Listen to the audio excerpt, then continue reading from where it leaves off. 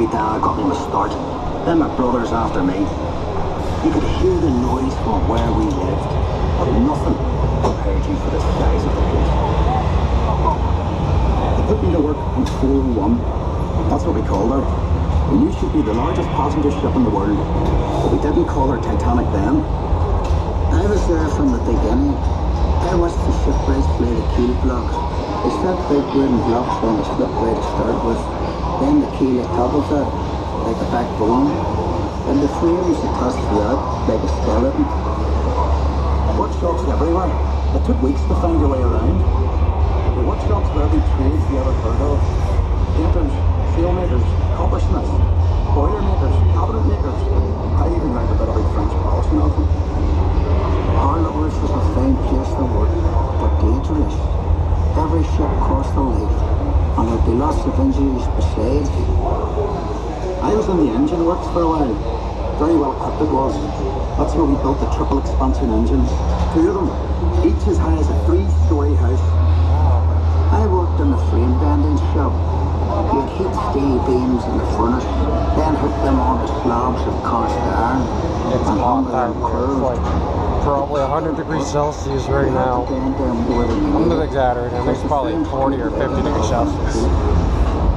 Plates that made up a hull weighed up to four and a half tons. They were taller than a da. The plates were overlapped on the edges. Some were raised, one after another. We called it clincher. One of the foremen taught me years ago. That's how you built steel ships. I worked as a heater boy.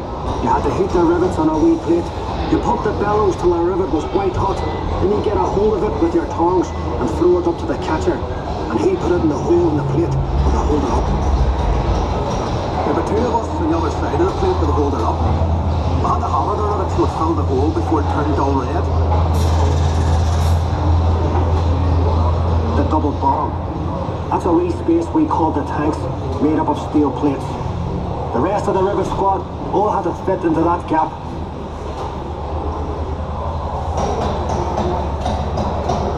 One of the four men would check each It's really hot in here. It's like probably 50 degrees Celsius. Oh, Taste it out afterward. I get scared working down in that double bottom. You only had candles for light. And the constant hammering against the shell plates.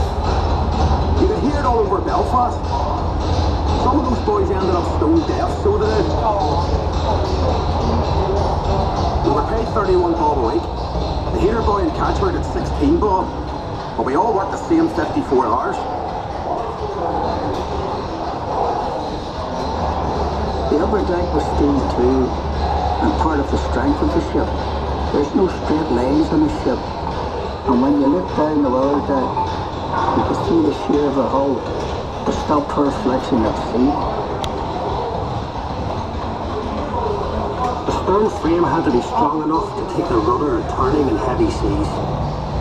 You'd have all these timbers and guy wires to steady the frame, and men scurrying around like ants underneath. When we came to launch day, I was torn between pride and fear.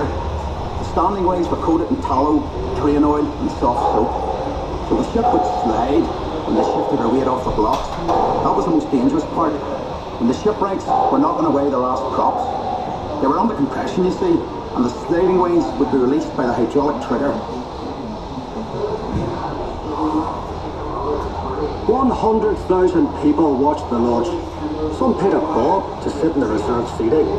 There were extra trams laid on. Then we all went off to the pub to wish her well. Doc, you were proud to be an island man that day.